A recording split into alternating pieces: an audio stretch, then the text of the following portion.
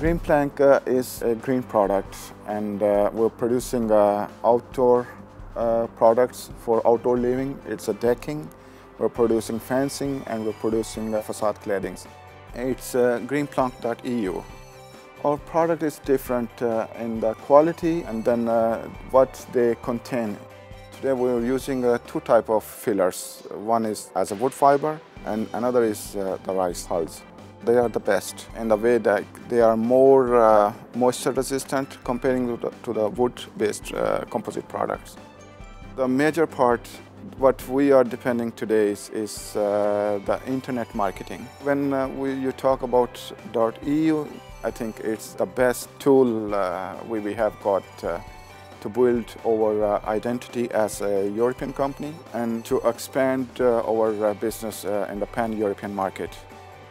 We, we, we see competition as a positive way because uh, competition brings the awareness to the end consumer. We believe in our products and we believe in our, our uh, product results, what uh, user can get and the satisfaction they can have.